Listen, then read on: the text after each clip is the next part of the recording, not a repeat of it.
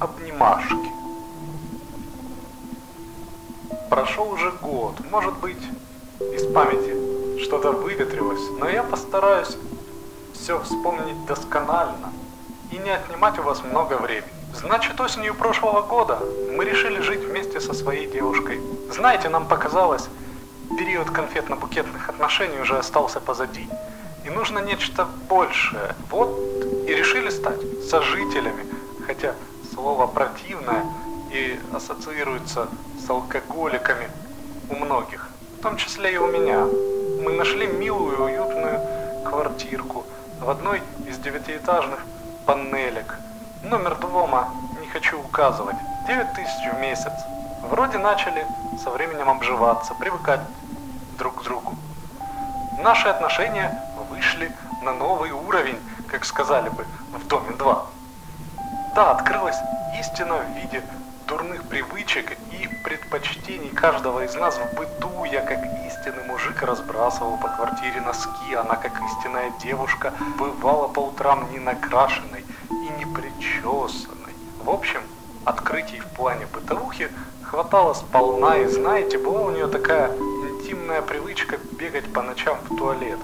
Нет, это не, было недержанием, просто физиология организма давала о себе знать. А я сплю по ночам чутко, каждый шорох чувствую, и бывало обычно в полудреме рукой пытаюсь нащупать ее, а кровать пустая, значит в туалете, понимаю я, и через несколько минут и вправду уже чувствую, как она ложится обратно в постель и обнимаю ее.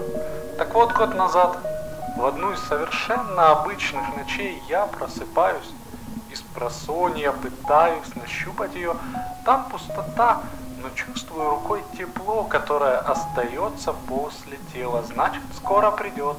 Снова мысль в голове. Опять ухожу полудрему. И вправду, через несколько мгновений просыпаюсь от того, как она ложится в постель, чувствую ее теплое тело, не открывая глаз, обвиваюсь вокруг него своими руками, засыпаю. Утром просыпаюсь от звука смс на телефоне, смотрю на того, кто прислал. Написано «Любимая».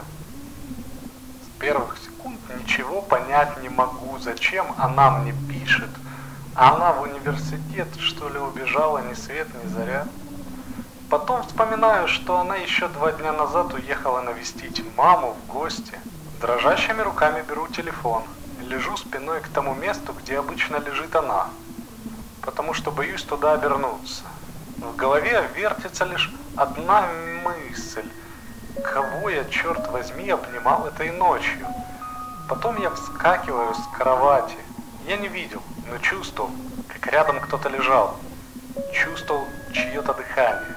И бегу, в чем был одет, прочь из квартиры. Прошел уже год, а мне до сих пор бывает жутко, когда я вспоминаю ту ночь. Я редко пью, Та ночь не была исключением. Я ничего не употреблял. Никто в нашу квартиру зайти не мог. Хозяйка оставила ключи только нам. У нее их не было. Она искренне не хотела вмешиваться в нашу жизнь, что бывает редкостью. Так кого же, черт возьми, я обнимал той ночью?